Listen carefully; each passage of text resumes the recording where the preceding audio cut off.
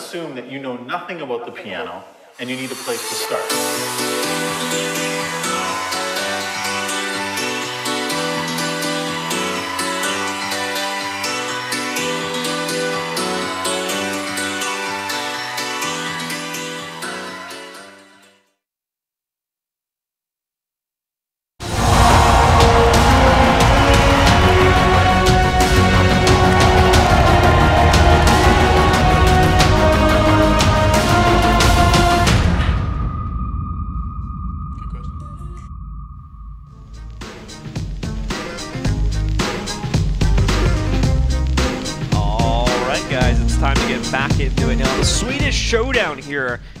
Between Godsent and Epsilon continues, as we did see Godsent almost actually losing control of their map pick, but once more, much like many of their maps yesterday, they do bring it back right at the very end. The big step from JW shows up, and now, of course, we go on to our second map. I think it'll be the first time on this stream, at least, that we've seen Cache play too, so should be an interesting one. Yeah, looking very much forward to this. Cache is a, is a, is a great map for both of these teams, uh, especially Godsent, to be honest. Um, comparing it to the fact that this is the map choice of Epsilon, this is a great map for Godsent because they are pretty good on Cache as well. So this is uh, this is going to be hard, especially for Epsilon to mentally reset after that close, close train game. So they have to okay focus. Okay, that was that was a tough loss, but we can bring it back into the next one.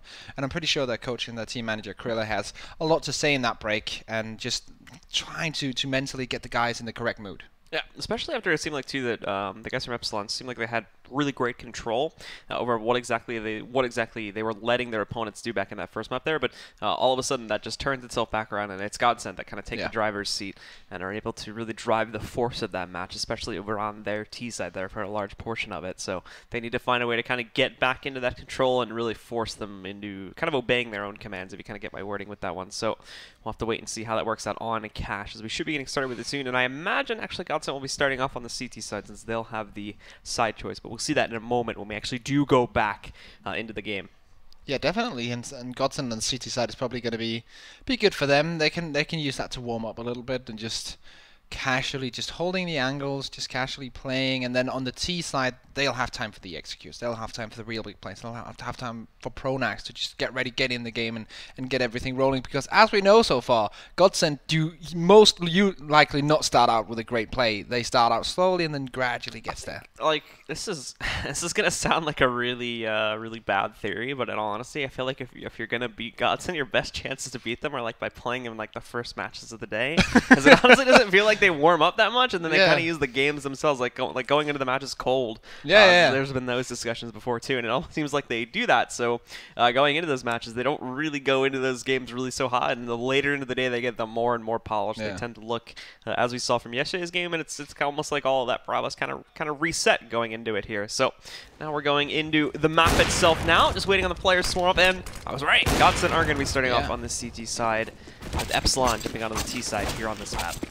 So looking forward to see the pistol here. The way that the Godsent played the CT pistol on train was very impressive. They used the tools that they had in the long range USPs. What they usually do, Godsent, uh, when they play here on Cache, is that they stack three players towards B, and there we go, the sound is back. Three players towards B, uh, and then play that bomb side really, really well, and just hold that very defensively with a lot of focus on there, because usually they know statistically that a lot of teams on that pistol round are going to try to hit B. So let's see if they can go for the three-man stack again. No, this is not going to be it. This is going to be something else. Okay, so two guys aggressively out in mid, one defensive, and they're going to look to boost towards white box.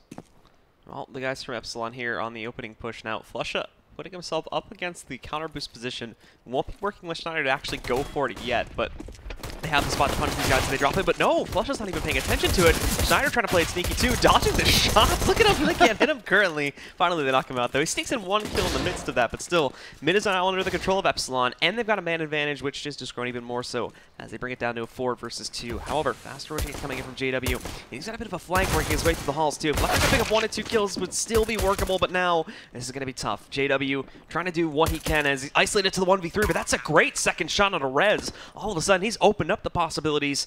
Unfortunately, on the site itself, he's got no flashbangs or anything to force him out, but he gets a third player into the open. He's looking at the 1v4 clutch, almost loses his life, but he gets behind cover in time, ducks away, gets the reload, but he still doesn't realize that Freddy B has changed position. He's not even behind that box anymore. He's looking for him right there. At the moment, it's going to be Freddy B just flanking around it. He'll be able to get the easy closeout, and JW will lose his head there. And with that, Epsilon pick up the pistol to start off the second map. Yeah, and once again on this pistol arm, we see a B B bombs I hit from the terrorist team. So technically, if they would have played their standard pistol round, that would have been a way better scenario for them. Not really sure what was going on there. Of course, they played, of course, the, the, the close range positions to the boost, which is acceptable because usually these T sides uh, really like to utilize that boost, um, but did not work out at all. Like you said, it even looked like he wasn't even paying attention. Like looked so uncharacteristic from the Godsent players that they that they basically basically failed that uh, that starting situation. But there we go into the Deagle round.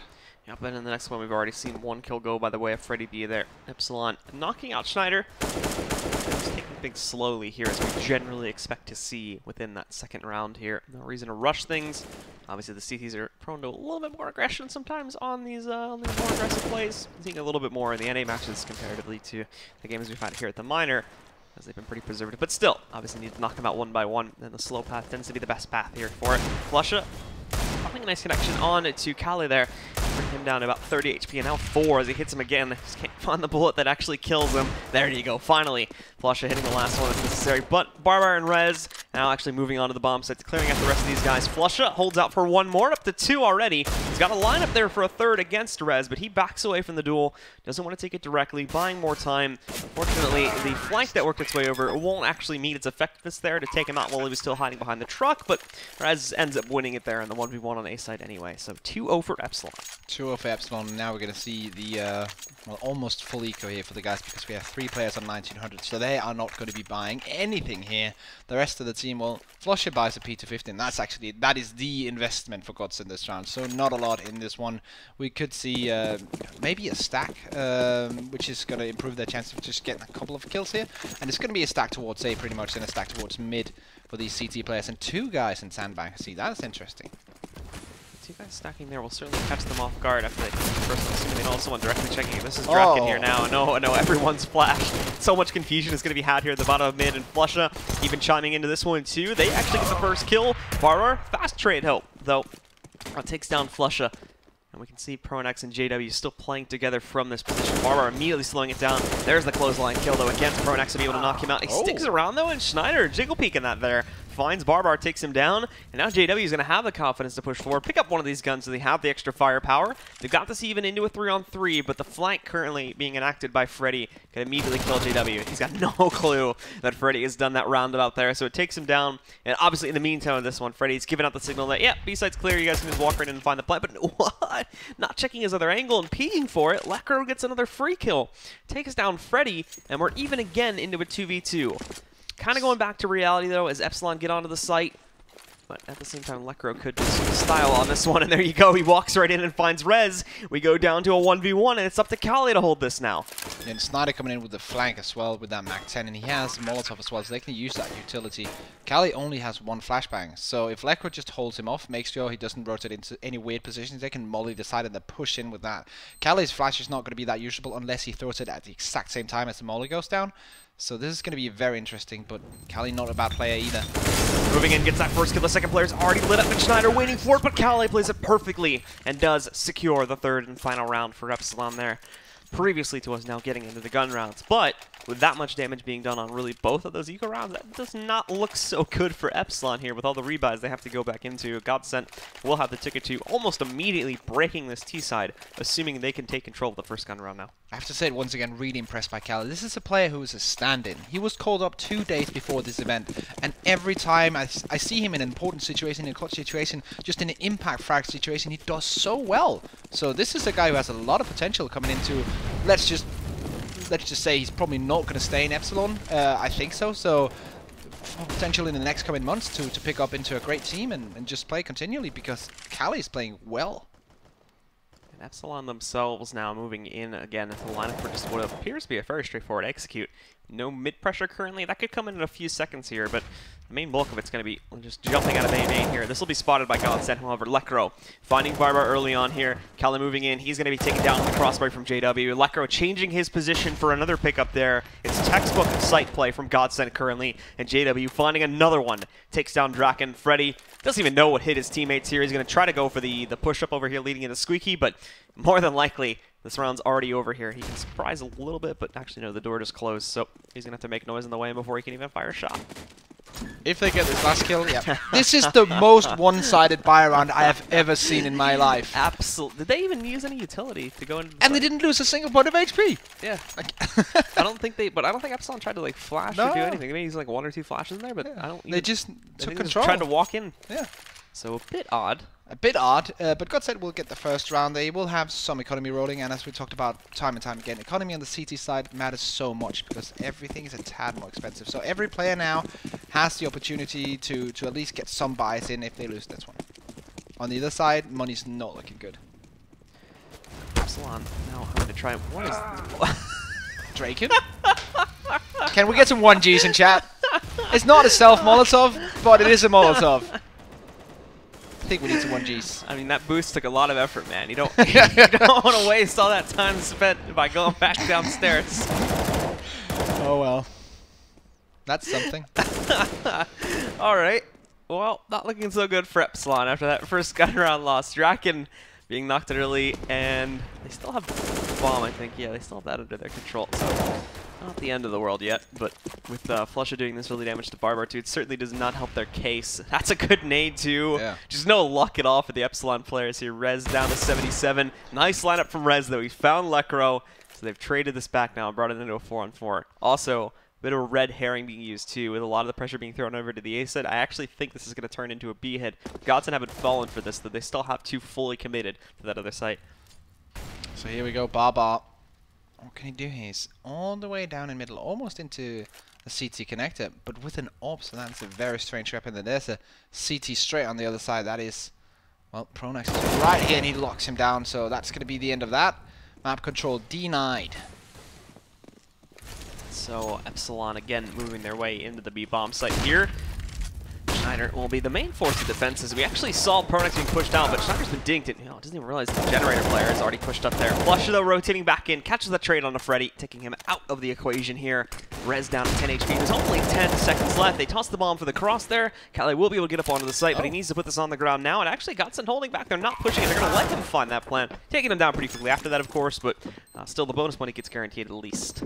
Yeah, you gotta look at the bright sides. At that, at, in this round, there was not a lot of bright sides, to be honest, um, for Epsilon, but they get the bomb down, so that's that's something.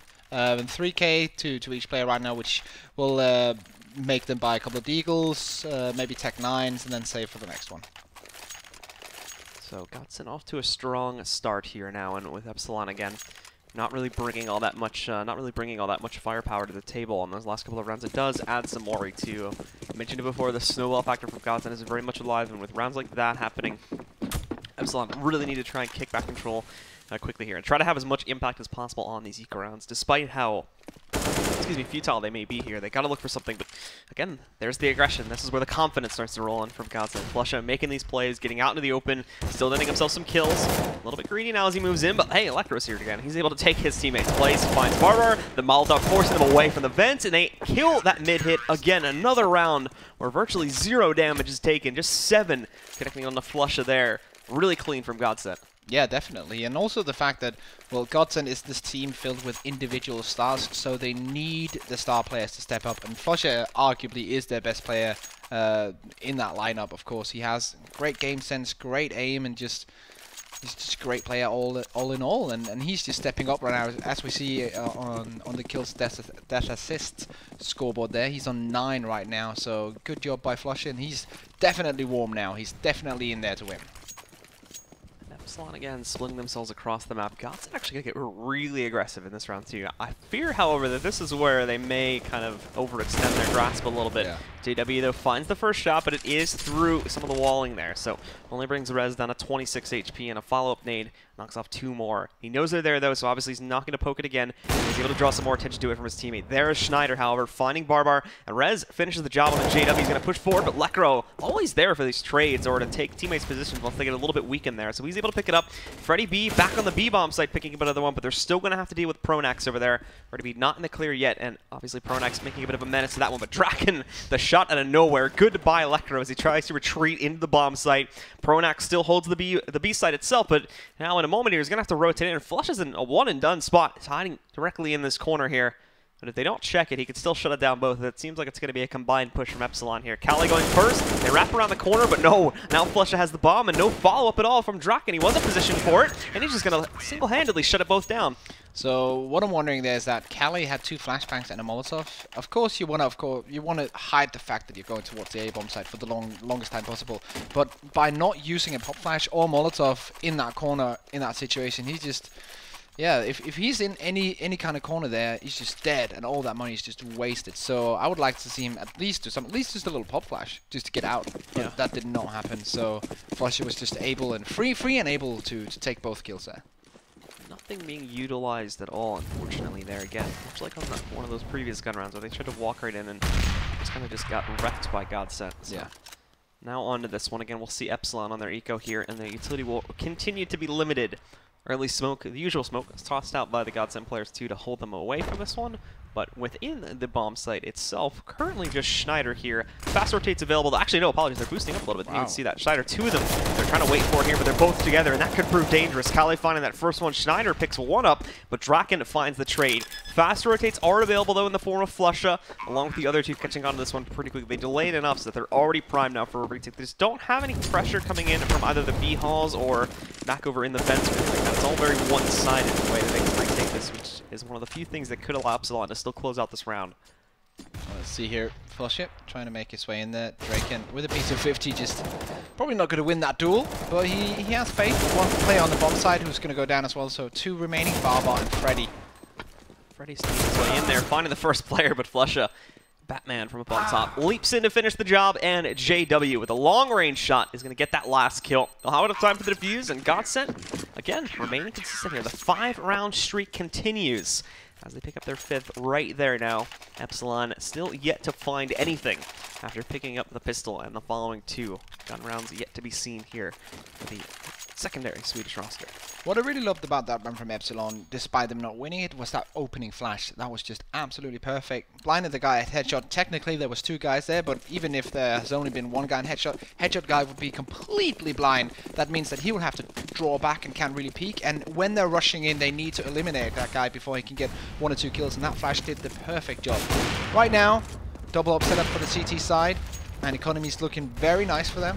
Five rounds in a row. JW actually very close to clipping someone just through the wall. There's no worries at all. But he plays this A bomb side together with Lekr0, and that is a deadly combination. They'll wait for the play, as now again Epsilon sit at the precipice of their push here into the A site now, but keeping the options open as it is still generally a default lineup. However, most of the, the time this ends up still leading into A, especially with the heavy focus on the mid defense currently going on from Godsent. JW still trying to pre-fire into that angle there, but they've since fallen away from it. Flusha, though, back over outside of the vents. He's grabbed one. He's gotten good damage onto his second player. Draken down at 12 HP, and Freddy B also taking some hits there, too, to 73. So Epsilon maybe a little bit hesitant to actually go through with that push. They've got the door open at Squeaky, but now JW with the position. Actually, he's going to miss that one, and now he brought down a 5 HP. Schneider, though, having better luck back out in mid, finds Freddy, taking him down, finishing the job, but was started earlier by one of his teammates. However, with the time getting lower and lower, Epsilon need to go for their execute, and they're finally ready to jump into this A bomb site. But this is very well read. Everybody from Godsent rotating over, and they've already got a flank in the works too. Pronax is on his way back over from the mid garage there. JW hiding in this smoke, Oh. even pulling out a knife there too. He get a little bit friendly with it, but Rez finds his way out of the smoke, almost comboing into a very nice second kill. And now it's just down to Kali, but he has not been spotted yet. He's able to sneak out there, pick up that first kill. He's got this brought down to a 1v2, even picking up the op as well. Finds that first player, but Pronax puts an end to it. And Godsent will find their sixth.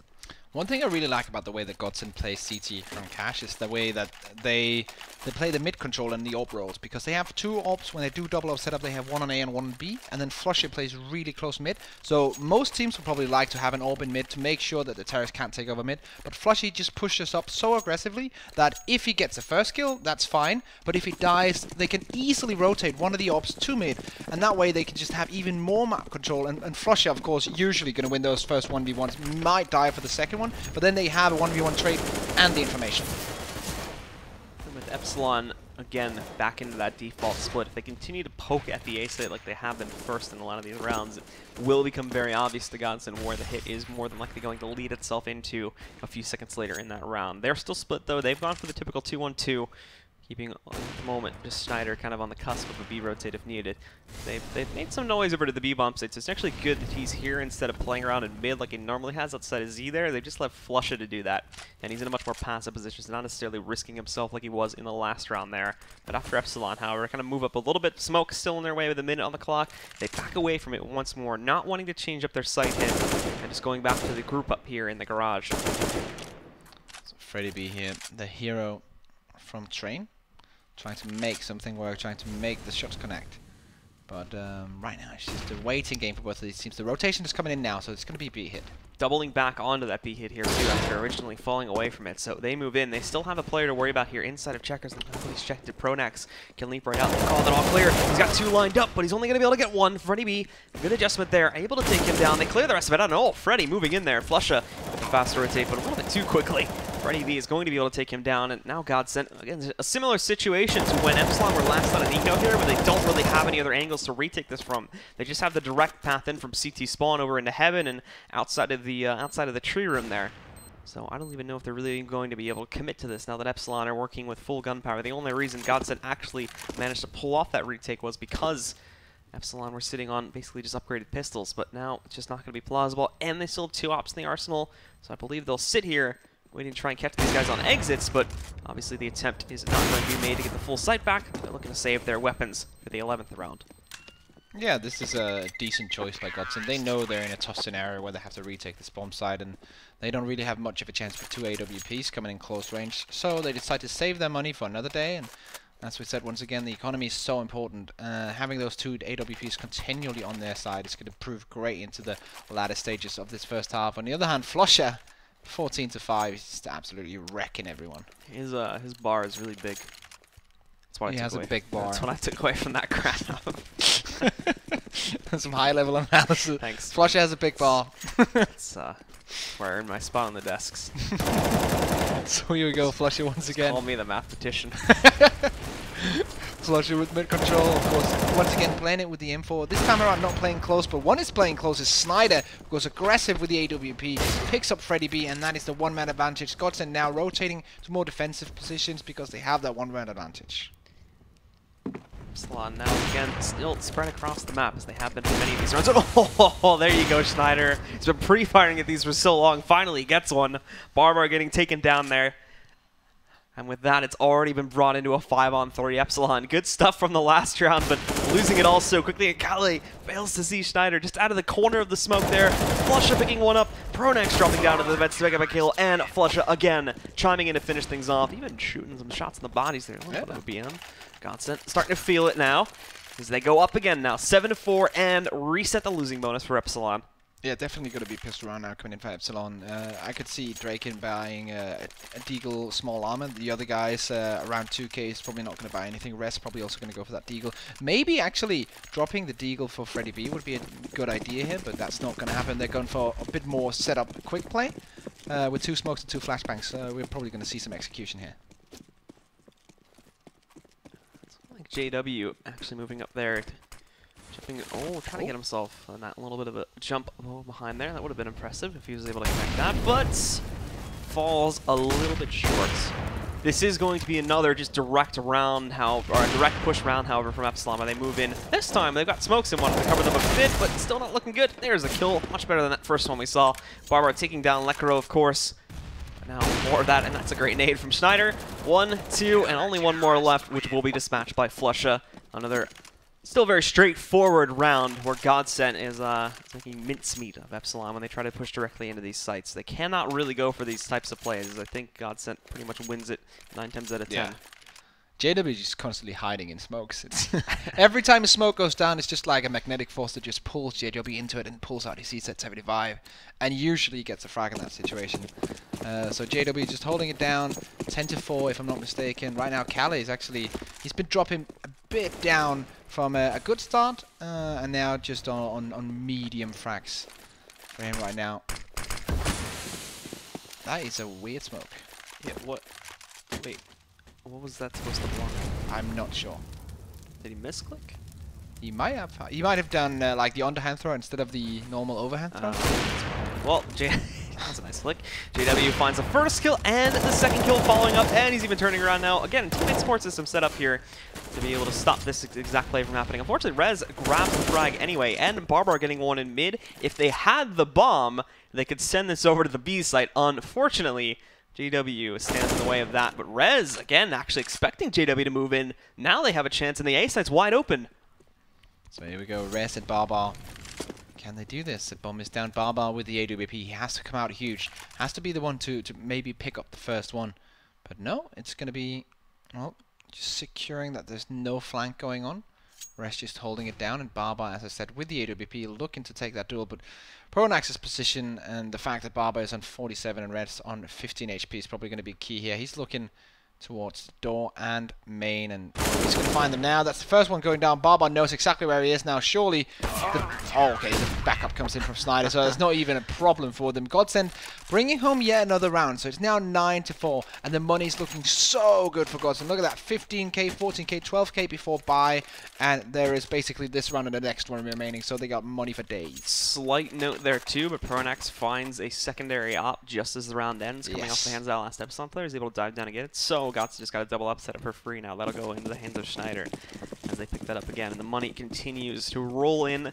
Not necessarily a really big point anymore with there being only one more buy sequence to go through for Godsent, but, but still, even if Epsilon completely wipe the floor on this round, we'll still see a full rebuy, and they can kind of get a little bit cheesy with it too if they want Uh, to. run boost. There we go, Epsilon. Double run boost. Oh, uh, don't really think it's going to amount to much unless they have a player waiting for them over there and check his. But actually, they do. However, they're able to overwhelm him. That's going to be Schneider. Push back. Rez pushing into the smoke. Gets the first kill. And Freddy B following up with the second one. All of a sudden, pure outright aggression. Starting with the run, run boost there. Gets them into the bomb site. Flusha. Smoke bang. Well, smoke bang. What did I say? Flash banged off and smoked. So he's not going to be able to see anything there. He'll have to hold back. Wait for reinforcements from his teammates. And again, Godsent find themselves in this situation here where they aren't going to be able to retake, but now it's going to be Epsilon getting greedy. Draken pushing out. He gets one for one traded out there. Lekr0 finding his kill, but just and JW still looking for a path into the site, and they're about to be Oh. flanked out here too. Won't even really be needed. Freddy B handling things when they try to push in, and Lekr0 stuck in a corner, taken down by Rez. It goes 9 to 5. Individually, Freddie B is playing so well. Like his team is behind, and he's the one doing. Of course, he's he's tied with frags basically by Rez, but Freddie B's frags have very high impact frags. Every time he gets like two frags uh, in a round like that, with the Tech 9 against the fully bot oh, Godsent, those are some impressive frags. On the other side, we do see well Godsent spending almost all of their bank, but this is the last round of the half, so that's fine. Yep, so they do manage to claim it, but right back into the double op setup here for Godsent, and everybody, full utility setups, full full buys, everything, you know, everything got like kit and full head armor there too, but Aw. Schneider dropping down, even having a little bit of the nade still in his way there, picks up that kill, dropping Draken, not only this too, but you still have Pronax sitting behind the box currently. If they Yeah. go through with this push through the halls, he's going to surprise them as well, which is not what Epsilon need after losing a player this early on. So Barbar here trying to look towards mid, and he actually gets a shot onto and Not quite sure why Flush is just... Well, of course he's checking uh, for that main AWP, but that's not really going to work out. Barbar with the second one, and this is looking really good from him. Two frags so far, not lost a single point of health. So now it's a 4v3 sort of advantage situation for the terrorists. JW is still looking for that guy over there in Z, but he's also got to be cautious of the guy on highway. Actually, that's a good smoke, but JW tired. We're trying to play this cautiously. Goes in, however, Barbar's got something to say about that. He responds, knocking out JW sitting behind the barrels. And in the meantime, of course, the bomb itself has flushed its way over here inside of the site. Lekr0 is not going to put a stop to his retake, though, moving in and wasting no time trying to retake control of the vents. He's got to watch out for the player back over here in Halls, but no! Drops into the Molotov and takes additional damage from the player in the backside there. So Freddy B is going to be able to close things down and allow Epsilon to go 9 to 6. The reverse scoreline of what we had back on our first map. Yeah, so what I really like in this round is that Barbar has been oh, definitely stepped up there. He has not been really up to par in my opinion so far at this event. He's been the one unimpressive player on an otherwise very impressive Epsilon team. But this round he steps up with the AWP, gets that triple kill and basically wins them the round. Um, and yeah, that's really well played by him. If he can bring more performances like that, especially with the AWP, they actually do have a shot here in the second half, I think. Yeah, and again, JW, who was really lagging behind in that first map, that has shown up here to a pretty big degree. It's again going over to Pronax there a little bit, but it's, it's not you know in any huge deal. Pretty much everybody on Godsent is having their even contribution so far. Yeah. Lekr0 showing up to the table still, uh, like I mentioned previously on that last map there. Not really having any flashy plays, but I think he's a little bit more noticeable on this map. Still, however, near the top of the scoreboard and remaining that consistent fragging uh, factor here for the guys on Godsent. It's Epsilon again. Players like uh, players like Draken that are struggling currently that need to be improved. Otherwise, Godsent is going to be able to crush them very easily now on their T side. So here we go, T side coming in for Godsent. Um, basically two guys facing towards B tunnels and then instantly going back after firing 5 to 10 bullets. The rest of the team will be heading up for a split A push. Two guys pushing from short and one guy from main. Actually, the bomb is joining in mid as well. And JW, he's now hunting. He's leaving the strat behind and going for the frags. And, oh, there we go. It's actually a B split, so that's very interesting. They go and switch that whole thing up. One player is rotating all the way from A, and, well, that's Lekr0, and Lekr0 is just not going to be able to do anything now. He's on the opposite side, opposite side of the map when the pushing to be started, and, well, he, he, he can try and call it to 1v4, but it's probably not going to happen unless Epsilon do some kind of big mess up. I think he just saw Barbar jumping up there for a second. Yeah. He knows he's hiding behind that, but he doesn't know if he's ducked away here. Can't the names. He's found the head again, though. Not going to take it down. They're playing it together, and they've wasted enough time. There's Draken jumping back into the fray there to finally end the round there. Lekr0, a valiant attempt, of course, to clutch things, but it just does not work out. And Epsilon with a good hold on that B-bomb site. Well, now they're rounding the comeback. 9 to seven will be our starting scoreline for the second half. Yeah, and Epsilon, they're, they're doing all, all the right things in order to bring themselves back into this game. Winning the pistol round is a huge thing. Freddy B just one clicks. Just like it was his day job. Doesn't care. Technically, it is his day job, so... yeah! I assume you guys are full-time, right? I think they're either full-time or on the border of full-time. Like, yeah. maybe one or two of them still has, like, daytime jobs. I don't know. I'm actually not sure. That is perhaps a good question to ask them. That is a good question, because I don't know too much about how far down the, the, the, pay scale goes enough for like the European teams to where they have to draw I the line at full time. I not. think Epsilon will have like enough money to do it full time. You think of, you my think, knowledge of the Danish scene. Yeah, you think they go to the the minor. There's usually like one or two teams at the NA minor that uh, is still like kind of trying to balance that life out because they're like yeah. premier level teams, and you don't really get that great of sponsors down at that level in NA. So there's such little attention on it, but Europe still has quite a few eyes on, especially some of the bigger countries like Sweden. So yeah, definitely. Um, pretty sure Epsilon are full time. Just thinking about um, the way the payment works in Denmark. So an Epsilon being pretty much a better team than any of the Danish uh, semi-pro low-level teams. The only teams that they're kind of like in contention with and, and, really can't beat on a consistent basis is Dignitas and, and Astralis, we, who we all know are, well, full-time and doing quite well money-wise. Yeah, certainly. Well, Godsent now getting ready to go for their push into the bomb site on their second round force. They're going to explode out here, but that doesn't mean it's going to be secretive. We've already got quite a few players from Epsilon here ready to hold it back. There's the first kill from Godsent, though, and the rest are going to move in, but they've got to handle Kali here. He's ripping them to shreds currently from behind this fourth, but he's going to continue to do so. Up to three kills now for himself personally. The fourth is going to be too much of an issue either, should we actually see Schneider moving in, but JW ready to explode. If he got that second kill, that would have been crazy. Thankfully for the guys on Epsilon, only gets the first one, but there's six seconds on the clock. They've got to take them all down right now if they want to have any hope of winning this one. There's JW with the kill. They do see the trade coming in, and with one second left, they're actually going to take down JW after the timer expires, I do believe, which is going to cost him quite a bit of cash, and that'll be an ace on the round from Kali.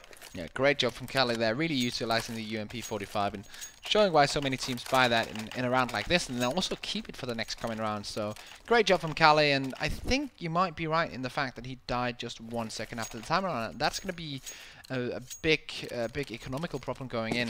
And there we see 750 for JW in T-Spawn, just saw that. Look at that from Kali, just complete control with the UMP. Yeah, no one really able to punish him that well either here. Just no utility investment or anything, and that's where that bites back as he holds a really great position. So, I mean, we can see it. Minimal investment, and, and Haynes already rolling in there. Goodbye, Schneider. They already know that the play is going to be coming in here, and Rez is going to get himself a nice little feast. Him and Freddy picking up those kills. Rez with two, Freddy with one, and yeah, Pronax. That play is not going to work out Yeah. so well. The Bar Bar. ancient play. you guys rush B, I plan A. It's gonna work out, guys. It's gonna work out. Barbar says no to that, and we'll see a pretty quick end of that round now. And the tie game, nine to nine. But JW now, what are you gonna buy? Because you died Yeah. at the end of that second round there. No bonus money for you. You can only afford the SMG with utility buy buyout. Bit unfortunate there, especially since he's the player that you would think needs to save up the most if he wants to buy that up. Yeah. He was lacking a thousand dollars behind everyone else due to the fact that he died one second after the time expired. That's not good. But nine to nine, we have a tied game here. But this is the round. Once again, we had the exact same scoreline on DE Train. The nine to nine round kind of decided the momentum for the next two to three to four rounds, and we have that exact same scenario. But look at this, Draken, almost with the double. Moving in there, though, at least causing some chaos a bit. Putting the bomb onto the ground for a little bit. They know it is secured on the A site, and that's going to cause some weight on the C side to be shifted over here. Freddy B rotating away from B, and also not only this, too, but I believe that's Rez going all the way through the halls here, too, lining up a pretty monstrous flank against these guys, Yeah. which we'll see come to fruition here in just a second as he moves in. It's a free kill against JW back in mid that he is able to capitalize on. That kills any mid pressure, so all of a sudden, it's just a direct A hit. They don't really have a lot of leeway back on highway, so they have to be able to trade these kills out. Two for one now in the favor of Epsilon as they move in. Flusha, a nice find and through the smoke, grabs Kali, but still he's alone with 23 HP. There's another pickup though. The last one alive is an A main, but he's gonna make a beeline for the B bomb site. Rushing away from this one, dodges Rez, but hold on, turning around, he takes the duel, but that's wide out in the open, and Rez is going to be able to easily win that with his health pool. So that was a very big confidence play from Flusha, and, and he got so much confidence for the opening two first frags that he actually thought, okay, I'm, I can take this duel on the third one, which is, if he looks back at the demo, he'll probably say, yeah, that's not a wise choice technically. Um, he went for it anyways, there's not really much you can fault him for. He was in a round where there was not that big a chance of winning, and he just goes for the hero play. Those two headshots were absolutely amazing. So good stuff from him, making the best of the, the bad situation that was put before them there, when they were forced uh, into a pretty pretty poor attempt at an execute there. Draken actually going for a pretty big play too, just standing out in the open like that. JW dodges that shot. He's able to confidently re-peek and more than likely take Draken down. Draken again, staying in the open here, looking for another Yeah. one. He's got no, keep in mind, he's got no additional support here right now. So someone had peeked through the smoke in that doorway there, he would have not been able to react to that at all, Let's had like a monster flight. So taking the risks, but it pays off already with a first kill. He does decide to move away from it though, after they go for the repeat back over there on boost to let them get some control here. But there's two other players sitting on the left, and there we go. There's the second pickup for him. I don't think he's noticed yet though. Flusha and Pronax sticking up towards White Box. He hasn't seen either of these guys, and that's going to be a big surprise all of a sudden in the site when they do sneak up here. See, there it is, Barbar picking up one. Not sure about the second one. Comes in, the spray goes down, and Barbar locks it. Great play by Draken in mid, but yeah, he, he's holding a very defensive angle in mid, so he's saying to his teammates, okay, I'm not holding short. They can walk up short, and that is why Barbar was 75% ready for that one. Uh, but a great play by Epsilon there, in unison just playing a perfect round. Godsent, of course, having good ideas now. I really like the, the way that they, okay, they went straight for the right side of mid and then walked up onto short, uh, but it didn't work out in the end. And so with that now, Epsilon, they hold control of the set here, doing reverse of exactly what we saw Godsent being able to do back on that last map, as you were saying there. Once they got it tied up at 9 to 9 and they claimed that round too, they weren't able to control the momentum of the match for quite some time now. It's leaving it up to Godsent here to be able to make a somewhat different player, just, you know, find more consistency with their entries here, making sure that they don't lose these very important angles. Mid's been an area that they've been kind of hit or miss on gaining that control, and They've often favored these A site hits too. Without that mid control, it becomes a lot harder to actually successfully get into the site. So we've seen but sitting back here and waiting, and he almost messes that up. Thankfully, adjusts properly and takes down Barbar before he is able to swing around and headshot him. So here we go, Kali in moving his way into a good position. Actually taking some damage here that he sh probably shouldn't be. behind this truck here, and this is surely going to be an A hit. It's going to be a fake towards B by Schneider, and then the guys are going to execute onto the A side, probably on that flashbang, but yeah, Lekr0 goes in for the first one for that trade. Now it's 3v4, four players on the Terry side, but they're not moving in yet. Still holding it back. They've got enough time, so it's not a big worry yet, but just taking it slowly, and there's good reason to that. A false sense of security, which JW is going to try to capitalize on. A little bit to the left there, JW. You find yourself a shot. But Draken, again, finding the up shots there. He's a little bit too far wide, however. So after that second one, Lekr0 is going to be able to trade. He's already had his impact, though. Unfortunately, the numbers still do not add up. It's down to Rez in the 1v2, but Lekr0 still does not feel confident enough to go into this site and find that plant. They've only got 20 seconds left. Thankfully, the bomb plant may not be necessary with this flight coming in from Schneider. However, he's looking for it. Schneider still ends up winning the final 1v1, though, and Godsent pick it back up. We go 10 to 11. Good job there by Godsent to take that one back. If you look at the money for the Epsilon side, they do have enough to buy. On the Godsent side, of course, they are starting to generate a bit of a bank. Schneider, especially in that one, getting some money saved up. And Draken, this this is just great plays from him. 3k, but not enough to win the round. Uh, the rest of his team not really up to par in that one. But Draken has been going back and forth, in, in my opinion, with his uh, with his play so far in this game. And right now he's playing really well. So that is a big, big, big upside for, uh, for Epsilon. Immediately, Pronax already starting to peek his way into the site very early on the first just two or three seconds of the round there. As soon as they can get into a position to do it, he pokes his way out there, looking to see if he can find anything on the A site. Will not work successfully, but it's certainly drawn attention to it. And I mean, with them going into this site, uh, everybody's going to start to rotate very early from Epsilon here. Got quite a few guys prepared to open up a flank there too, specifically. Rez move his way in, but Kali up on the top there. He'll pick up the first kill against Lekr0. JW catching the trade though takes down Kali, but again, much like that last round, they're, they're a bit slow to move into the site. And much like the last round, again, there is good reason for this. As JW gets another kill on over there, taking a player down. Barbar, he's going to be burnt out over here from Quad. Thankfully, he responded well with the flashback, so he is able to keep himself alive for a bit longer. Ultimately, though, goes down before he can make an impact there. And this is left to a 4v2 retake against the favor of Epsilon. Yeah, this is going to be incredibly hard for Rez and Freddy B to retake. They do have one Molotov and one kit, so it's not a complete mismatch. Um, Freddy Beast's saving now, so it's probably not going to happen. But something I really like about Godsent is that usually these slow A takes, I'm not very impressed by them, but Godsent just makes it work. And that's mainly due to JW just always getting that opening peek in the door. I think now he has to, to rotate around and play a different position after playing that door position two times, but these two rounds he's made the the difference for his team, peeking with the AWP there. That round specifically gets two in a row as well, yeah. as Epsilon continue to kind of feed players to him over there on the upper uh, on the upper rafters. So there's not a lot of those guys can do to counter him out from there, and he's always ready to take those shots, and he's watching for that position specifically. They kind of play right into his hands, and that's where Godsent gain most of their momentum to take control of that site. So right now, 11 to 11, tied scoreline between these two teams, and while Epsilon are looking they're looking okay. Uh, they still need that last 10, 20% in order to, to, in my opinion, best Godsent, especially. Uh, with a buy like this coming in, it's going to be very hard, which means that Godsent is probably going to get that lead. Uh, and a lead at this time in the game, and with them playing as well as they are right now, that could be detrimental to the result of this game.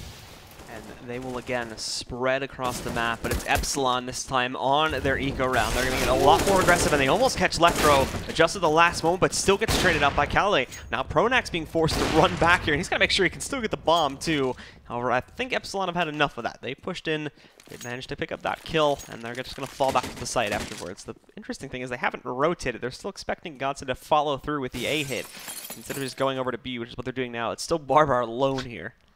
Yeah, this is this needs a hero play from Barbar if he has to have any chance here. It's just got a P2K as well. No yeah. guns at all to work with here. This would be uh, something for the history books if he could hold this off on his own. This is probably one of the hardest things. Like you're in an eco, you only have that P2K, and you just know, okay, they're coming in five, ten seconds. What can I actually do to do uh, to to hold this one? And he's just playing as defensively as he can, just holding back the angles, not doing anything stupid so far. But the terrorists are waiting a bit as well. So now they are going to move in very slowly, of course, and trying to draw the attention away from the just towards the acid a little bit. There's going to be JW also kind of driving the wedge too as he takes the battle out there.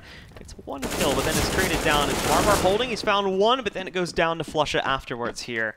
Flusha Again, now looking to hold there, making sure that nobody else is rotating quickly enough. The interesting though is they have a lot of res to get control of the rifle, but it's going to be tough for him to utilize it properly with only 17 HP. It's not like he can really toss it over to Draken either, obviously, with him being pretty far away. Draken moving in through the T. Always, though, he's looking for that first opening kill. Nobody has spotted him here. The nade goes in too. Not some great damage, but now Draken's position has been given away. They managed to stop Rez before he can have any impact, and now they know the Draken is hiding here in the mini pit, so they're just going to wait him out.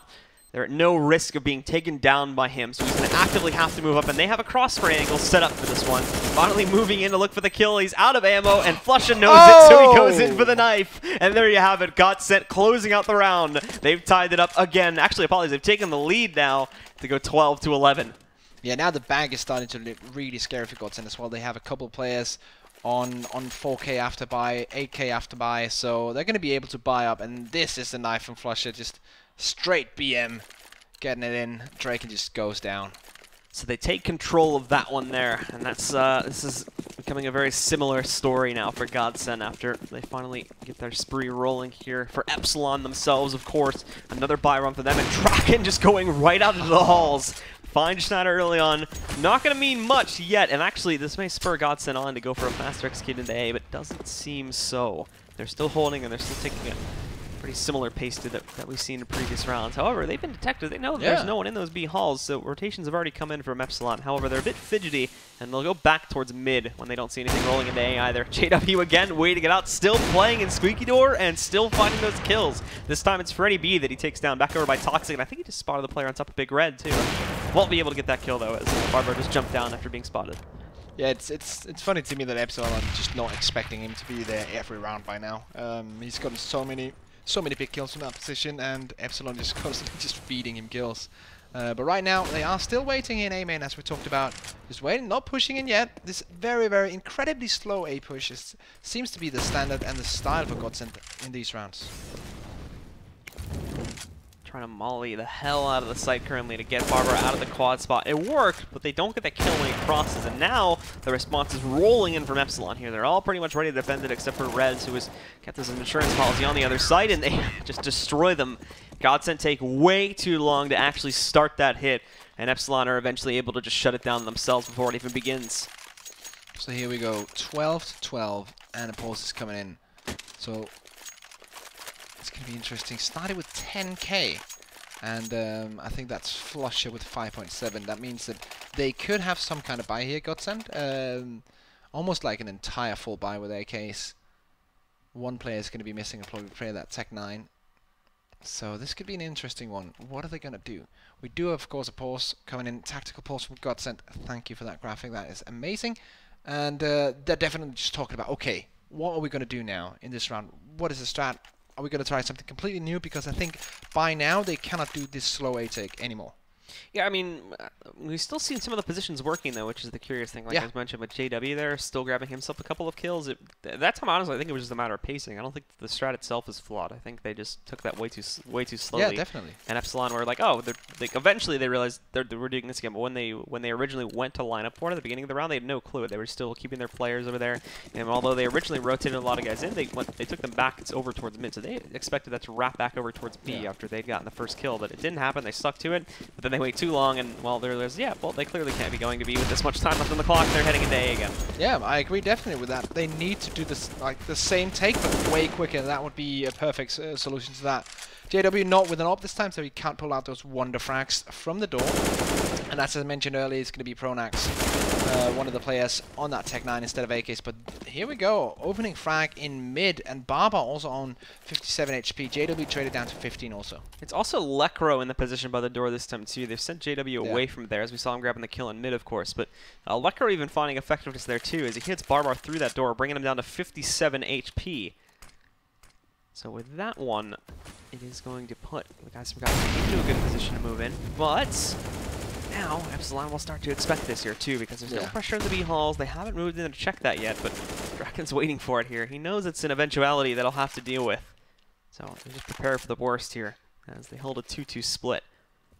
Still surprised in all honesty they have that heavier commitment towards B. And again, the Molotov is going to force a player out of position. Draken actually, I think, gets the connection onto Pronax there, but it doesn't hit fully. Only brings down to 24 HP. Flusha being hit on the way in here, too. And Draken forced into the corner. They think he's cleared out, and that's the problem, because now Draken's picking up some kills. That'll be traded out rather fast by JW, but now more on the way here. JW still fragging out, though. Two more kills when he's already down below 15 HP. And with Schneider's kill against Rez, that's going to send Freddy packing over to the B site to save. He shifts out towards Z with one more kill, but now at 12 HP, there is not much he can do. I really love the way that JW has been stepping his way back into this game because on the first half of D Train he did not look good at all. But now here on Cache is, is just a completely new JW we're seeing uh, in comparison to the first map. And he's not just getting frags with AWP. In this round, 3K with the AK as well. So JW just looking looking like his normal self again. He's woken up now. It's coming back into the fray, of course. And again, for Epsilon here, the inconsistency after holding control of things at the beginning of the half is really started to bite back. Godsent are looking unstoppable now with JW at the helm of things, it seems. Him and Flusha. And we can see uh, Lekr0 2 even finding some effectiveness, even though he kind of uh, he kind of has been a little bit more quiet in the second half specifically. The first half was a good one for him, but haven't seen much of him beyond just a few kills here and there in the second. Been mainly JW finding that effectiveness, and yeah, JW, Draken, apologies, finds that really great flick at the beginning to hold it, but the rest of his team just does not shine through that well due to the pacing that Godsent takes Yeah. and rushing into that site that time.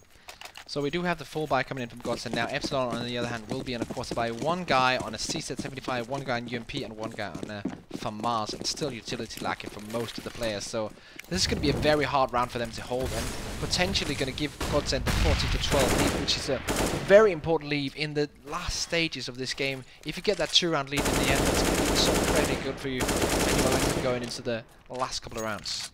Still getting ready though at the edge of the B halls here. So shots back in. Schneider trying to spray into that. Spraying at nothing though, as we can see. But the flashbangs go in. It'll hit on Schneider, but not the A team here as they push their way into the site. The guys from Epsilon are ready for it. But look at that spray transfer from Lekr0. I said he's quiet. Well, now he's woken up. Unfortunately, rushes in thinking he's safe. That's a problem. As now three trades have come in from Epsilon and Barbar wrapping around the backside takes down JW. It's just on Flusha now. He's got a generator position, but he's lost bomb control. He's got to somehow try to find a way to make this work. Who else but Flusha this situation? He has a, a decent chance here, a bunch of utility. He knows where Freddy B is, but he doesn't want to give up his position just yet. So no molly's used, but he has that molly in his arsenal. Has to smoke as well towards CT. So we're going to probably see the molly, yeah, be, molly being used now. Oh, he has so many smokes. That one down onto the floor. So he's actually got a clear path to get the bomb back. But look at this. Oh no. surprise play. Kali's waiting for him right on the other side, though. He's got to try to flash through this one. He's still actually just waiting for it to fade. Moves in, and oh no! That's the wrong idea as far as where these guys are positioned. So tries to adjust, but it does not work out. And Kyle, who was sitting there waiting, is going to close out the round. And again, we're tied now, 13 to all. It seems to be the the name of the game when you're watching Godsent play in like the last ten rounds of the game. They're just gonna be tying each other up all the constant, all the time, constantly. And look at that spray transfer from Lekr0. That was beautiful. Good stuff from him. Unfortunately, just gets a little bit too aggressive, and then it's kind of a domino effect after he goes down. Yeah. The rest of Godsent get knocked out, and the flank from Barbar over there in mid pretty much seals the deal for Epsilon to close out on that one. Just a bit of an elongated 1v3 from Flusha since he did still hold control of the site, and the Epsilon guys didn't really want to risk anything there in the clutch situation for obvious reasons. So now a full deagle round coming in from Godsent, um, looking quite quite strong usually with the deagles, but surely this could not be a round win for them. Deagle and nade combination coming in from Schneider, and they are once again setting up for this, well, a main focus taken, which we by far now by now know that this is going to result in an A push, but can the CTs figure that out as well? And we can see Godsent once again prepped for an A hit, but being very, very passive about the way they approach it. This time, though, it's with good reason, obviously, since they're back down onto these Deagles here. And it's the first time in a while we have seen them be restricted to this uh, this large of a degree. Barbar already catching the first player, that's Flusha. Micro is hunting for something as he's kind of taking up the mantle that JW had previously over here in Squeaky. JW's still hunting for control back at mid, and he's getting it for free. There's no one defending mid at the moment. He's allowed to walk all the way up the highway there. Barbar catching the second player out from A main now. Pronax now going down. The 5v3, this positioning up on Highway itself is not going to matter much since they still have Barbar in the way, as we've seen there. He's taking down one, and then Kali and Draken are just going to move in to close out onto the final two. Epsilon take the lead, and it'll take us into another gun round for Godsent, possibly with the fate of deciding map number two. Yeah, definitely. This is going to be balls to the wall pretty much for, for Godsent. This is going to be incredibly hard for them. Uh, they don't even have all the utility that they need. They do have an AWP on JW, and that is the most important thing here. But as we can see, they're lacking flashbangs on most players, lacking smokes even on some players. I think only one player has almost a correct lineup, and that's Lekr0. All the other players are missing utility, and on the other side, Epsilon have everything they need at their disposal. Godsent again. The default split here, but I like what we're seeing from JW. We haven't actually seen a whole lot of play on boost so far in this half from mid. Mm. At the same time, though, Epsilon have not really been putting an active uh, active player out into the open on mid where someone in boost could punish it. So it's a bit different. You can see around the corner there, there's a possibility for one of these CTs, specifically Kali, to peek out that he could punish, but they won't be finding it in all. Flusha, if he Oh, sprays into that boost spot at the right time, he could get some massive damage onto these guys, but just not finding it. And now Draken gets himself up on top of the shroud spot, and they have no clue he's up there currently. Definitely that, that could be a round-changing play from Draken right here. Bomb is situated in T-spawn and currently getting ready to throw some smokes. So we're going to have two smokes coming in. JW just holding the mid for any rotations. And then it's going to be an A hit surely with 50 seconds to go. And Draken will be the man to watch in my opinion, if they go for this A take. The real question is, did they spot it? Did they catch Barbar crossing back for some reason there? Whether that's just them thinking he's changing position or falling back from something else. Hmm. that is that is yet to be seen here. So Draken gets up on top, but there we go. He's tired of waiting. It's time to strike, and he's going to move in there. Unfortunately, Pronax will trade out onto his teammate, which boosted him up there a moment ago, and now all eyes onto him. He's actually able to get one more as he drops down, but Schneider tapping away, as we've seen from him so far in this tournament, finds Kali, but Kali at the same time just burnt JW, took him down. This stays even, into a two versus two, and no more time to wait. Schneider's actually going to take a lot of damage from that Molotov, way more than I think he thought. Down to 44 now, but he does get the plant. Rez and Freddy on the way for the rotate, but they're taking it very slow too. They have no utility.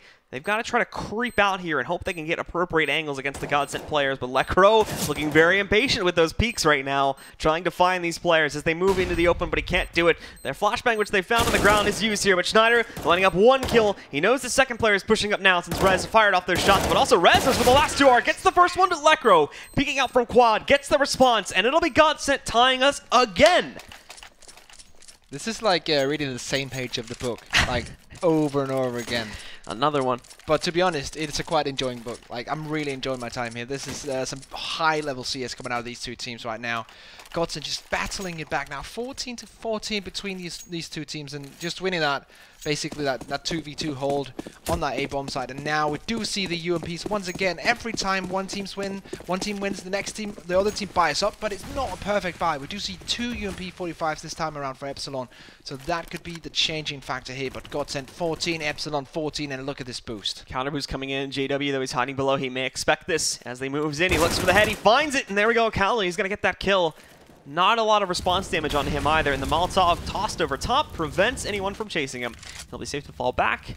With that, the guys from Epsilon will hold the negotiation rights here for this round, so to speak, in the 5 on 4. Yeah, Kali rotating all the way back to short now. Not going to play any close range situation uh, or position really here in mid. Just holding white box if they want to push out on mid. And then the question is, what did Godsent want want to do now? The initial plan was foiled by that counter boost. So do they want to go? Okay, that's what they want to do. Obviously, Lekr0 knows exactly where Draken is and takes him out of the equation. Flusha trying to make his way into A main with that UMP foot Look at that Barbar. Once again, he knows his teammate died pushing that door, so he thinks, okay, they're not going to expect this, but Schneider doesn't care. He knows exactly what's going on. He's got the lock. Take us down, Barbar, as he tries to sneak his way in there. We may actually still see Kali try to move himself into A main too, but Godsent now have free rights to move out here into mid.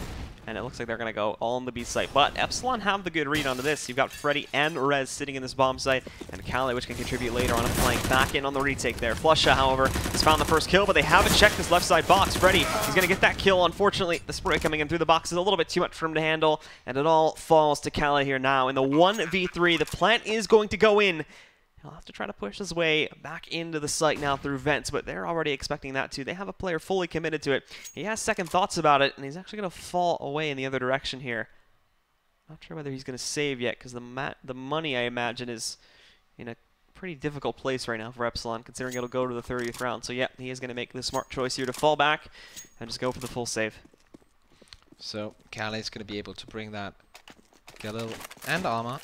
And, uh, well, okay, technically an AWP as well, so he gets a whole package basically right now. So Kali bringing a lot of money into this next round, but Epsilon's money situation in general is not going to be perfect for this one. Godsent, on the other side- hand, will have exactly what they need, bringing us into this one. Godsent finally bringing it back to the normal level again. After they bought in that last round, pretty much everybody except for Kali and Barbar were pretty much broke. And the Yeah. most that what they had, I think, was Kali sitting at 750. So with them just now being reset too, we can see it. It's uh, it's a it bit desperate.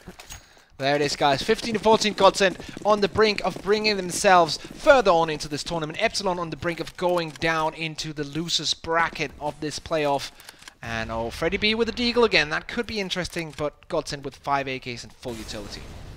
And we can see, again, they've spread themselves still evenly. They're not going to obviously take a risk on anything here across the map. But these SMGs and a lot of the positions they're currently trying to play from are not really going to be too strong, unfortunately. These are a lot of long-range SMG battles they're going to have to try and take. Yeah. And their aim has to be on point 100% if they want to work these. JW, though, a KZ practice here as he leaps his way across onto the white box. I think Kali has spotted it, though. He falls back, he waits for it, and JW tries to go for that spray transfer, Oh. and oh no, whips the nade a little bit. It's not going to have too big of an effect. He's cleared out mid, that's the important part. And he, uh, he's only lost uh, 70 HP in return. And he did the damage onto Barbar as well. It's now on 42 HP, so that is a good start from him. JW trying to once again make the difference for his team. And in this situation, it's going to prove very important. That early. JW is hunting for Barbar there. Yeah.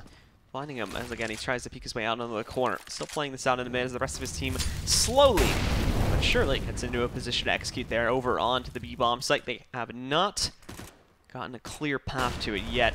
Trying to force Rez away a little bit here, but he spotted these guys.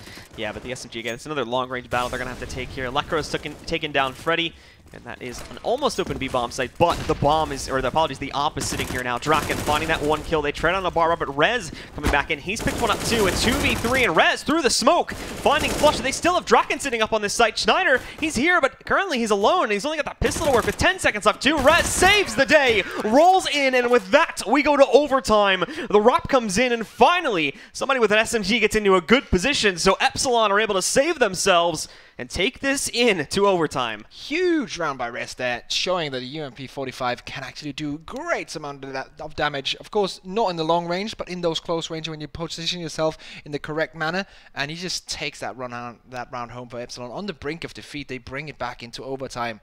So the dream is still alive. Indeed it is, and we will go once again into MR5 16K overtime. In case anybody who was not tuning in yesterday saw that one overtime match, and I think it was another, uh, I think it was another Godsent match. That was the one that went to OT. Yeah, that was Godsent LDLC in the first one. So anybody that uh, didn't see that one yesterday, just a bit of a, an update there on the format that we're using here at the minor. Yeah, and definitely like LDLC took that one. Oh, that is great emotion from Barbar. You can just almost hear him yelling for that video clip. That's great. But the thing is that last time Godsent they played this overtime down here, they lost to LDLC, so they absolutely have to improve here and show the world that they can well, take this one home. Double up setup on the CT side though. Draken and Barbar both with an op. On the T side, only JW, which is the, the way that you usually play this T side AWP. And here we go. Round number one out of ten. Let's get into it. Let's take a look and see if Godsent can get back onto uh, onto the 2-0 train here now. But oh, taking a lot of damage from Molotov somewhere else on the map there. JW and Schneider being brought down 19 and 51 HP on either one of those players. Also to be noted too, the double op setup has now come in from Epsilon. We'll see how that is used. Unfortunately, their economy was in a pretty dark place for most of that half. Thankfully, they won't worry about that too much here in OT. But with them being able to consistently buy, that's just another factor that Godsent are going to have to deal with. It's a large part of what enables them to hold control oftentimes on their T side. And with Draken in the picture, it's going to get a little bit tough. He'll get a two-for-one trade. But with his aggressive positioning, he does now get traded out by JW. On the move in, though, the second op is also positioned in this A-bomb site. Barbar and Kali able to play that very nicely, and they bring it all down to JW here. That was a good investment on that double outside. If you can see precisely how well it works, and it actually got, they got positioned both of the orbs on that A bomb side, which is a rather weird choice, but it works out for them in the end. So definitely improved by me. Uh, JW with 19 HP to go, so he's probably not gonna go for anything anything too crazy here. He's kind of just uh, chilling out right now.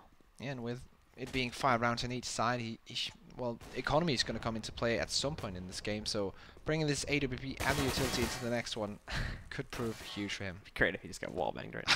you can see the other player on the other side. Barbar's pushing it. No, come on. Oh, so go. patient. Patience plays or pays off there as he finds that kill on the bar. we knew he was waiting for it and it works, ah! but goodbye. Three, two, one, dead. So he still gets traded, but hey, he got that uh, he got that kill. He's waiting like 30 seconds for here in the here in the room. So Epsilon go up one to zero here on the CT side in this first overtime. Godsent need to battle his back now, but the way that we've seen this game go back and forth throughout the last 10 rounds, it wouldn't surprise me if Godsent picks up this one. Yeah, the trades have been very, very consistent, but I think a lot of that has been coming in due to the economical battle that I mentioned in the last round there that kind of happened in regulation time too, where neither team really sat on an even pedestal, and we had some scrap buys coming in for both teams there, which caused quite a few weaknesses. Will not be the case here in OT, especially with Epsilon uh, winning that first round. The one thing that could risk it, of course, is the double op setup, but they both uh, both managed to keep them in play there. Yeah. So no money lost there on the Epsilon side, and well, they push it. Rez, how gonna dive into the smoke? Not gonna find the first kill, and Rez explodes. One, two, three kills for him. That's Lekr0, JW, and Schneider all getting taken out by Rez. And now Pronax sits as your last man standing in checkers. It's not gonna last very long either. Draken with the peek finds him standing in the doorway. That's a quick kill for him. That was a perfect hold from Epsilon. Um, basically, what Godsent tried to do is that they tried to pop flash throughout the smoke, but at the exact time that the pop flash came in, Rez just instantly dived into the smoke so he could have the flank and have his teammate just hold the bomb site for the for the next five seconds. Draken, of course, on that bomb site, and Rez just taking that one down for the team. Good play by him, and it's going to be two rounds now, two rounds in a row for Epsilon. That all being shut down there, Draken actually gonna get a Colat in the process too, as I you know, on the replay that I have. Nice stuff from him as he explodes in that round too. Schneider now is gonna push his way through there, taking down Draken himself. Fortunately, that play is not gonna be plausible this time. As we need to see some rounds from Godsent going up on the board, and they still have that same basic stack of players working their way into the A main area there too. This needs to change. We need to see some variance. We had that in the last round, but a little bit more tactical than that, as the direct play they did make was countered out pretty quickly by Epsilon there. So now they started out by playing three players in that A main and going one aggressive towards B. Now slowly rotating most of the team towards that B also, while two players just playing that lurk position. Nice shot from JW. That could be the entry into the side that could secure them the bomb plan, and it will be because the CTs are on three different positions on the map, very different positions on the map as well. And well, JW can hold down Reds here. That's not going to be a problem. then we have, I think, Schneider holding down Kali on other part of the map. So it's basically just going to be Barbar trying his best 1v2 on this bomb site. And that's going to be incredibly hard. JW lined up in Schneider, but actually the timing on these peaks ends up working out. JW and Schneider find both of those kills, and yeah, there's not a lot for Barbar to do. Oh, Nice. flush it through the wall! Tries to fall back into a corner where he can pick up a few more frags, but just does not work out there. Shut out through the wall, as you mentioned there. Sprayed down, and with that, all of a sudden, Godsent are right back in the match here. yeah, and very important one wise for them to take this one, but also to take this one with only one man lost, I think. Uh, they saved four weapons going into the next one. Must feel bad to be a Pronax right now, dude. Everybody's over 20 kills except for you. Just knows It's it's, going to gotta be another be- Reddit thread coming. It's got to be that really awkward feeling in the room where everybody's like, I guess you're that Pronax guy. But it's it's it's it's the same thing for example, like MSL and Dignitas, and if it works out in the end, it's fine, uh, in my opinion. But yeah, usually it's when when one guy is is having 10 frags less than anyone else on the team, it is a problem.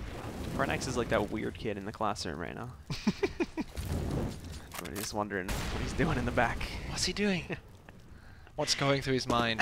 Actually, that is a legit question right now because I would love to be inside of Pronax's mind as he basically he is controlling the Godsent team in an overtime where they can technically almost like bring themselves so close to the major qualifier with just one win here.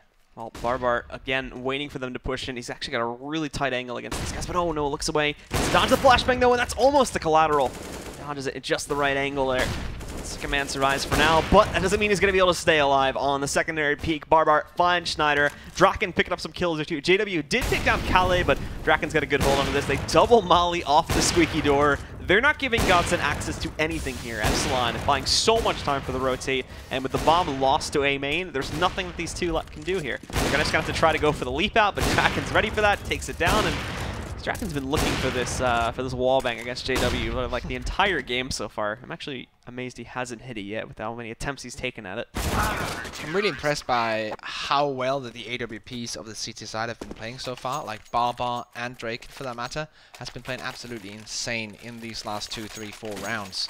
Barbar here, we see him starting off with a double, and if you can start up with a double kill at the beginning of the round without losing a single member, that is usually 75% of the time at one round. But we go into the last round here of the first half of overtime. And we'll get to see, of course, if the scoreline remains closer. Remember, the magic number here being 21. So if Epsilon can come back here and take control of this one, only two rounds are needed on the next half to be able to take control of this match. Wisconsin still have a bit of a long road to go here, even if they take control of this one themselves. So let's see, full buy for both teams, so no worries there. Double up setup once again on the CT side, Draken and Barbar, who has been playing perfectly so far in this overtime. And uh, yeah, a bunch of mollies for the CT as well. So they hopefully can use that, use that to block off the terrorists when the push starts, and even force them to use some of their smokes to extinguish those mollies. Kale again playing over here behind the forklift position. We've seen how effective this has been before when Epsilon, or apologies, when a Godsent have tried to go for just these all-in hits onto the A site.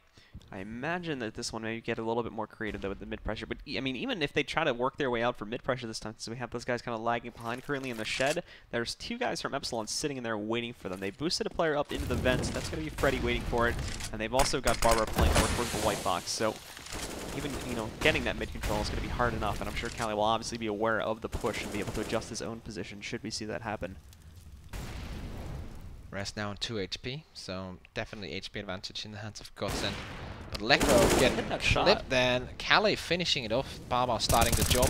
And look at that, Freddy Beast not contested at all. He can just open up with that frag. And all of a sudden, this looks very good for but JW answering back with a double.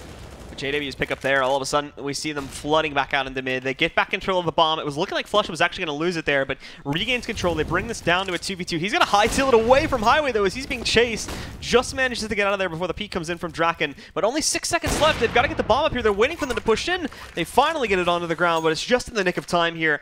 Draken, he's going to slowly push his way in, but Flush is jumping up on top of the shed, finds it. An almost impressive flank from Draken. He still actually gets that kill on a JW. Chases him away. He jumps out into the open. That's JW's mistake there, and it's going to cost them dearly. Draken, though, he knows where Flush is, but he doesn't know if he's going to stick around or work for the flank. There's so many possibilities for him to work towards here now.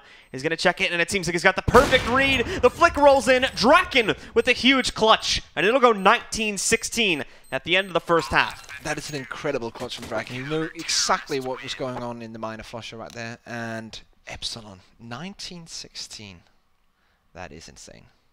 JW making the big mistake there of going for that second jump yes. after he's already behind the box too. Costs him his life. And then it comes down to that 1v1. And Draken uh, just plays this beautifully there. So we'll go into the second half probably immediately here. But we can see again, it's a big game for JW. Just not yeah. big enough as we can see here. Yeah, it's just the usual performance where where Godsent, if they play really well, JW and Flusha has to play really well, and they're doing exactly that. The interesting thing I want to highlight too is actually, if I remember this correctly, I think Draken only had like three kills or so at the end of the first yeah. half. He's really low on the totem pole. His Easily second half is was insane, and his overtime as well has been absolutely beastly. He's had a complete 180 turnaround, and yeah. he's become kind of the hero of this team now, especially towards the end of that, uh, especially towards the end of regulation time too. We were seeing some big stuff from him. It's part of the only reason that Godsent are really still in this match right now. Yeah. Still in the upper bracket. So here we go. On board with Draken once again. Just gonna pre-flash. Make sure that no one is pushing his position, just holding that down. Playing very carefully, and this is the style that Epsilon I really like from them. They are playing intelligent CS, not taking chances where they know it's going to be hard to get something out of. It's taking the duels he knows he can win. And the delay from Epsilon too, as they also go for the default lineup here. Not sending anyone early on into A main, however. In fact, everybody pretty quickly shifting their positions over here, and this is a somewhat predictable smoke lineup. If we see a peek from Z, they're going to know that this is the crossover into the vents there. So B-site defenders need to get ready, but of course, as usual, this could also be a ruse, so the A-site defenders are not really going to have enough intel to rotate off yet, but with JW pushing into Squeaky, they should be able to detect this pretty shortly. Now Epsilon, they'll move in for the execute here. Player on the site not peeking out yet. Schneider, though, going for it. He's found the first kill, looking for more. He's going to drop down. They don't expect this. There's one kill. Thankfully, they trade him out quickly, and with Rez also picking up the frag on a Flusha. They've cleared out the site. Now we have to rely on Lekr0 and JW working their way in from the A-bomb site to be able to retake this, but without Schneider finding massive impact there on that drop-down play, this is going to be a little bit tough, as Epsilon will be able to keep ears to the ground and pretty much have eyes on every angle for the retake. Freddy B in the perfect position right now. Two players trying to come in for Vent, and he takes down the first one. Second one goes in, but JW grabs that frag. Now 1v2 for him to clutch. Looking for the first kill, but it's not going to play out. Rez wins it there, and Epsilon pick up their 20th round. One more to go, and they steal map 2 away and take us over to our third and final map. Rez, another player, too, we haven't talked much about, who uh, in the last like three to four rounds of regulation had some really huge impact, specifically with the SMG on Yeah. that final round. Kind of saved it. And I was just about to bring this up too. I was wondering when we were going to see some cheese here on the overtime buys. Finally, it's coming with Flusha picking up the auto sniper. Oh, this is going to be interesting.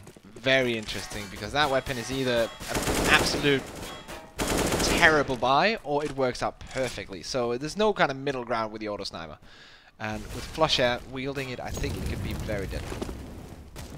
Well, again, he'll position himself over here back in mid to try and punish any of the push from Epsilon there. We saw how aggressively Epsilon wanted to play towards it in the last round there, but this time it is a complete divergence.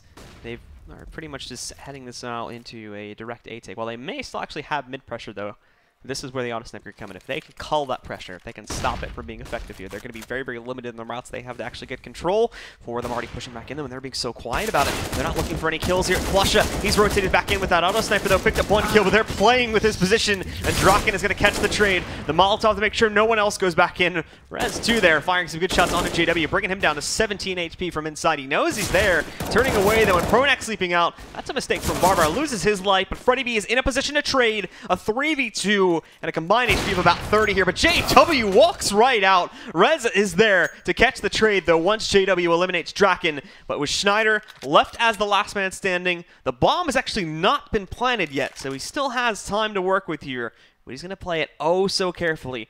Wanted to hunt for that player in mid, couldn't find him. Rez on the site here now. He's got that lined up, but he doesn't see it yet. He can hear the shots. Not going to take a chance on giving away his own position with still so much time to go. Oh, that is so close. Molly coming in here. Not gonna kill him. So Schneider now 1v2. So I'm like, oh, what? Reg just lost his life to the Molotov, and now he's got to find Freddy's up on top right now. Yeah. Freddy has the best advantage he could possibly have. Oh no, Schneider, he hasn't fully checked it. He's missed the opportunity. He's looked around the round corner here, and Schneider's wasting so much time with this. Freddy B has dropped down. Oh. He's gonna. Oh, how have they not seen each other yet? This well, round, this Schneider's round, walking man. out, and now he can definitely hear him. Freddy B should know the general vicinity of where he's positioned at. He's gonna go for it now. Jumps onto the bomb. Freddy wrapping in. Two Surely. seconds though. Freddy looked like he was gonna take a chance with the knife, but still switches over to the rifle, shuts it down, and there you have it, guys. The upset has come in. Epsilon have stolen away Cache. We go 21 to 16 as the final map score there. It's one to one, and it'll go to a third and final map to decide who moves in to the upper bracket.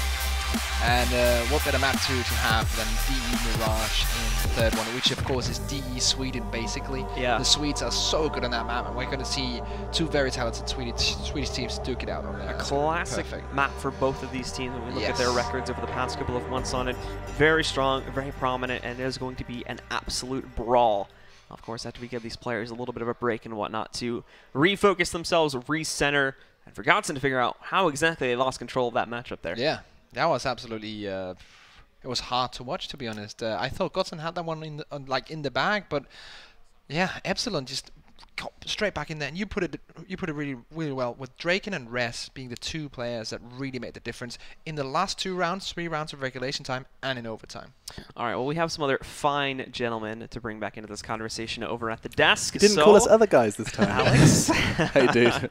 How's it going? Yeah, going well. I mean, I'm feeling. I mean, that's the easiest prediction of my life. New Epsilon were going to be taking that second map. Wasn't worried at all. Um, I think you're right. Right, Rez seems in the regulation that 1v2 with the UMP on B site was the only reason we even got to see Yeah. overtime. Um, so everyone, I can't think of a name in Epsilon that underperformed there. Could you? Very, yeah, it was very I- even on the Yeah. fragging. A bit of a team, a team effort. Yeah, definitely. And they stepped up in different stages of the game as well. Yeah, I think you guys mentioned that uh, during the game, the fact that Draken was pretty much not on the server for the better part of the first half, and on Yeah. the CT side, once he got his hands on an op, sitting there, you know, pretty much towards A the entire game, just picking up frag after frag after frag. So he came up big, and I think that, yeah, I think he ended up like close to 30 actually Yeah. towards the end of it. Yeah, well, well, we'll take a look at the stats and all of that good stuff here on the desk. Thanks very much, guys. We'll be back with you for the third map, Mirage. Now, Natu, Vendetta, the nitty gritty.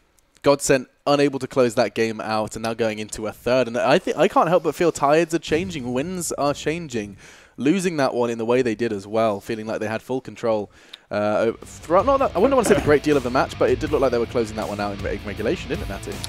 Yeah, I mean, my biggest issue right now with Godsent is, is why, how one-dimensional their, their T-side is. It's, it's either JW and Lekber and Door, rest of them except for Slider just A main and they're waiting for an opportunity to get on the bomb side, or they rush B.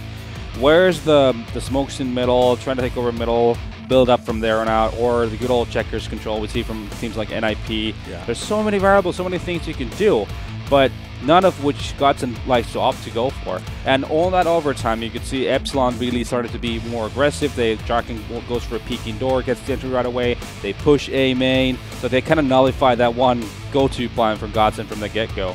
I mean, isn't there some moral to if it ain't broke, don't fix it kind of thing? I mean, Well, they, they the, were the fighting i- rounds. well, Epsilon for the better part of that CT half, or, or, or for a large part of that CT half, it was broken in Sure. a sense. Like from from Godsent's point of view, sure. Like if A works, then then go for it. There's no need for you to change things up, but. They have to have something in their back pocket when it stops working, which they didn't. the Cali To Ace. change the pace at some point at least. Yeah, because you, you saw it eventually, and this is what Yuna mentioned, the fact that uh, eventually they just started stacking up towards doors. They would use all their Molotovs towards doors. They weren't worried really about A main at all. They could set Draken or Barbar up in a passive position uh, to hold off A main because they knew that you know they're going to try to find a pick before they execute with a smoke or anything like that. So for Epsilon, it becomes a lot easier to, to play these side games and actually utilize their utility correctly. Yeah. And you can see Godsent had a variety of rounds just come crushing down to Mr. Draken. This was it, the second half where he did certainly come alive. Rez was forced into various situations, even seeing Draken cut down to size by Flusha at one point, getting that extra 1500, which you actually identified he did need at that point Yeah. in time, getting that knife round. But this is when this is when things were close. This is what we're talking about. Very inseparable. This is Draken on the second half, a completely different player to the first. But uh, all This- around getting a little lost here. This is the the big no-no round really from uh, what, what, what we saw What as part was, of it. yeah. Yeah, one of the B rounds that. Well, at that point, A was working out pretty nicely. Epsilon really hadn't made the, the adjustments they needed to to This actually is it. hold This is the Rez round. Yeah, Saves the day. but there's a lot of like a lot of awkward takes really from Godsent whenever they went towards B. Yeah, And I think it, that- that- this didn't, didn't look methodical. It didn't look like they they plan they have planned like every aspect of it, like who Yeah. throws one Molotov, who throws what smoke, who flashes, when do we go, what's the flow of the whole attack. It kind of seemed like it was just Yeah. yeah, let's go to B. Um, yeah, I'm gonna throw smoke. Yeah, you yeah you'll throw a Molotov. Yeah, let's make it work, boys. It'll work great. Which I'm assuming, as you guys will probably know better than I, is not typical of a Pronax team. I mean, Uh, Pronax, li- he likes a free flow style play. I mean, I think it, it goes without saying if you look at the Fnatic lineup of old. Um, Sure. I mean, then, But then, then you kind of had that kind of uh, tool, set of But- tools that, that it, it worked. Yeah, but you can you can have a free flow style and still know what to do when you have to execute Yeah, yeah, because for sure. free flow, yeah. and that, that's what Godsent doesn't really have on, on a lot of these maps. Uh, we saw parts of it on train yesterday uh, on their T side, which is encouraging, but today we didn't really see much of it at all. So, so with that said, then where does where did the praise from Pronax and his leadership start and originate? It was Very good at reading. Very, yeah, it's very very extremely good at reading mid game game. calls and that type of thing. But Okay. So you know that's always going to be his strength. But when he's not able to get a good read on on what to do, or you know, necess- well, even if he gets a good read, you still have to execute towards the site and actually get into it and do that properly. Otherwise, it doesn't really matter how good of information you sit on if you can't actually take advantage of Okay. it. I think Fair something we need to highlight is though, from Epsilon's point of view, a cool strat they did in a uh, Tech 9 armor by Yeah, the double run boost. yeah double run boost Yeah. to wreck the shit out of Schneider in checkers, and then even It the second guy gets wrecked in B right away. That's a cool little trick. They smoke off the entry to B, so they leave checkers open, and they know there's an op playing B, and they double run boost. And obviously, you know, you don't, you're not going to hit that shot a lot of the times with that op when you get double run boosted. Um, and they both JW, one of down. the few that yeah, has exactly. this tournament. Yeah, so yeah, very cool little trick there. Yeah, probably no- a bit, little bit more depth perhaps to Epsilon than there was Godsend. Actually, yeah, that was kind of the, the intriguing part. The fact that Epsilon seemed more prepared on Cache, and obviously the, they're running old Epsilon starts in that sense. And it was so they have to go back. To, but yeah, Yeah. it definitely was, and it's probably one of the few maps they've managed to play a game on uh, with Kali. But uh, you can still see that there's more afterthought to what they want to do and like what they want to do with their rounds Yeah. than what Godsent were trying to figure out. Because Godsent was solely relying on getting picks. Yeah. That was the end all be all. It, it felt to me like it got a little too easy in overtime for Epsilon. I mean, once they really caught on the fact that we can just go into A main or push door, and that's pretty much going to nullify anything that Godsent's trying to throw at them. Yeah. Um, so I mean, getting those four rounds on the first half of overtime, you kind of you kind of felt it was over. Well, we, we talked about Pronax and his reads. Let's actually read the scoreboard and see where Pronax does f- kind of fill in there because it hasn't been fantastic for him. It was a nine frags, I believe, for him at one point, but that's, Ended up on That's that's, that's not correct. That's not right. No, I believe actually Pronax and JW are the, the other way around. Has yeah, to be. the, no, it definitely is. That's definitely it. Because yeah. Pronax got two kills in the last round, and he had nine mistaken. the yeah. round before. So yeah, so that, just just to clarify, Pronax did not get 21 frags. It was indeed JW who was Maybe having a great a great It, time. it says the same on HLTV though, which is weird though. I think that has to be mixed Unless up. they were on like different accounts or something. What's going on here? Unless we were just we were, were we mental. completely misreading the score. No, no, we were No, no, watching no, the no, no, game. no, no. We watched the Pronax was not getting a lot of stuff though, and, and uh, obviously like the We saw For- JW get four in one round. So yeah, that's Yeah. not. Okay. well, well, like uh, Blame me, bot. well, J, well Damn it, J, Ebot. JW had like 32 kills or yes, something. he was top of the scoreboard. Yeah. Um, but in any case, I mean, oftentimes when you see people, or especially in-game leaders, have poor stats, Yeah. uh, you know, on forums and everything, people are going to be like, yeah, no, minus this guy plus this guy all day long, and we're going to be sitting here at the desk, full you know, trying to defend them in the sense that they actually bring some sort Sure, of value. of but when you're in a scenario like this, where Godsent actually don't have anything to offer strategically, then you actually have to step up your individual game. It's just that simple. If you if you're in a similar situation like MSL, where you actually see that one of the biggest things about Dignitas that drives them forward is, of course, individual uh, skill Yeah. comes into play, but it's the entire structure around the team and the way they build their rounds up that make them successful. Then you can understand why he's still in the team. I, I, I also thought we kind of acknowledged that there was something to be said about we're moving away from in-game leaders and bottom of the scoreboard being an understandable and appreciated uh, e- excuse. I think we've kind of agreed that that's no longer something you can use as a valid excuse that I'm leading so I can bottom frag. I thought No, we'd got, I- I thought we'd kind of deviated from that by now. Uh, no, I, again, I I don't think it's uh, like in that sense. There's no excuse to bottom frag at any given point for any Yeah. player. Like it's it's, it's uh, if anyone like depending on what kind of responsibility you have within the team, right? You can say that about any player. He's a support player. Hoi, well, hoi, oh, hoi, yeah, hoi, I hate hoi, that hoi, word. hoi. Jesus. Natu Uh, just had this grimace on his face. Those support players, guys. Um, sorry, just closing thoughts before we start talking about our next map. We are getting a little carried away. very, very, Cache. actually slightly worried for Godsent, if I'm honest. Are it, you? It, wasn't pretty. It, was, Epsilon it wasn't prediction. pretty, wasn't it? But then again, I think what Halvor was saying that this is the one map that that Godsent does actually look like a uh, A team a contender team, right? So, That's true. uh, but I, I did see uh, Epsilon play in Group B um, on a Mirage. It wasn't like it, it was definitely not something you No. know super elaborate, but it was effective. Um, and they would do some effective B pushes. They had their A smokes on on lockdown, and the way they committed to all the pushes looks really good. And they grinded out a lot of rounds where they're down. Even they they lost to two first. Uh, players still still able to win their three on five by by Draken and uh, Barbara doing a lot of work. So, uh, is it safe to assume then the question, the only question to determine your prediction would simply be whether or not Godsent can bounce back after conceding Cache? I'm right? pretty sure they can. Yeah. I mean, Yeah. I'm I'm I'm, I'm confident they can, um, considering just the, the the pedigree these guys have. I mean, it's been so close. We had a 16-14 first map. We had an overtime second map. I would be disappointed if we saw a stomp either way at this point in time because these two teams are truly locking horns. However, on Natu, how on earth does this one play out? Just because I'm interested if you've shifted from Godsent because I have been waving the Epsilon flag from the start. No. No, and no. I can't. You Uh, can't. You're not going to deviate. Goes against my principles. Damn you. Well, we'll be finding out after the break if the casters have got a similar uh, kind of idea and precipice. Precipice? Premise. After the break, we're going to be finding out that one while I go ahead and find a dictionary and work out how on earth to speak English. We'll be back after the break with your third map.